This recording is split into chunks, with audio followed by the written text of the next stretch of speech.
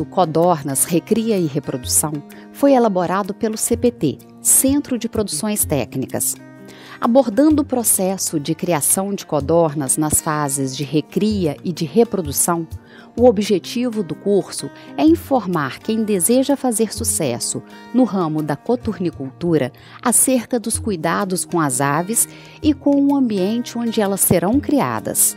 A coordenação técnica é do professor Dr. Jogi Arique, engenheiro agrônomo e especialista em criação de codornas, e da professora Vera Moraes, zootecnista e doutora em ciência animal.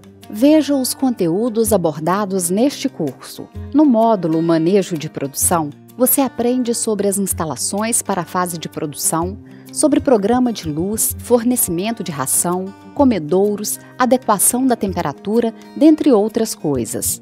O módulo Manejo Reprodutivo apresenta os critérios de seleção e reprodução de matrizes e ovos para incubação industrial. Neste módulo, você aprende sobre sexagem, consanguinidade, armazenamento dos ovos e muito mais. No módulo Manejo Alimentar, você recebe informações sobre as exigências nutricionais das codornas, as formulações das rações em diferentes fases de crescimento das aves, a alimentação dos reprodutores e os custos com ração. No módulo Manejo Profilático e Sanitário, você vê como a prevenção e o trato de doenças são feitos, aprende sobre as taxas de mortalidade das aves e ainda estuda sobre programas de vacinação.